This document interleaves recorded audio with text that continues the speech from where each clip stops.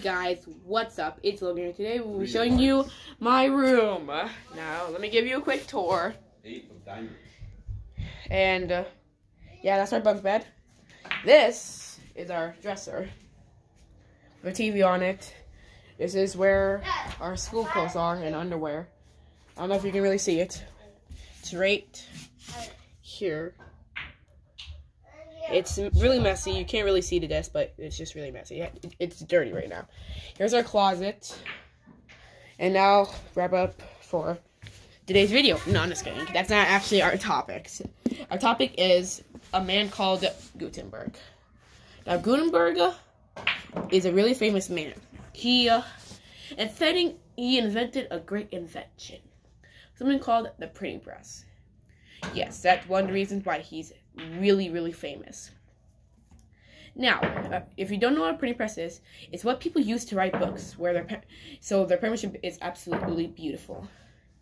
Now, he invented this in the 15th century, so a very long time ago, way before George Washington was born. That's for sure.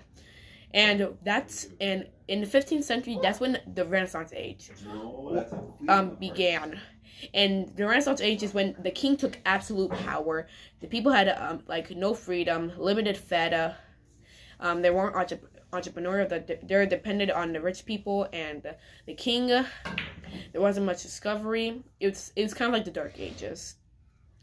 So Gutenberg, he, his father was a rich mer- merchant, and his mother died at a, a young age, sadly, and he lived in Germany. Now, the reason why he could achieve this goal is because he because his father was a rich mer merchant and he got all the materials um Gutenberg need I believed.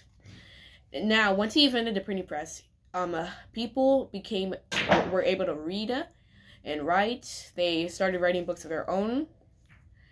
And uh, they, the reason why why he invented printing press is because before the, printing press was invented, um, uh, they, people wrote books with their hands. Like, can you imagine writing a book with your hand? Your hand would be exhausted at the end.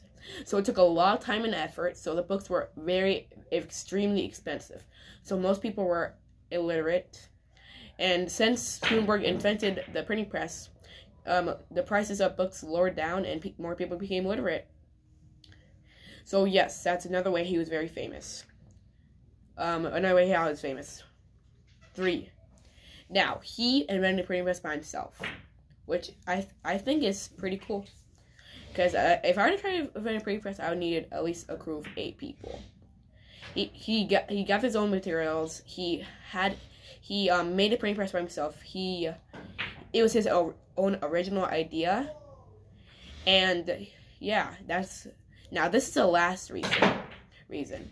Now, before he died, he had a shop where he wrote books and uh, where he did all this typing and stuff like that. And that's the last way he was became famous. I know. There could be other ways he became famous, but that's those are four ways I know. Now that'll wrap it up for today's video. And also, I like to write. I actually like to write. That's why I decided to do this video. Now, I'll probably do a video on some other prehistoric people uh, or maybe I'll do some, on some reptiles. And I'll see you in the next video. Bye.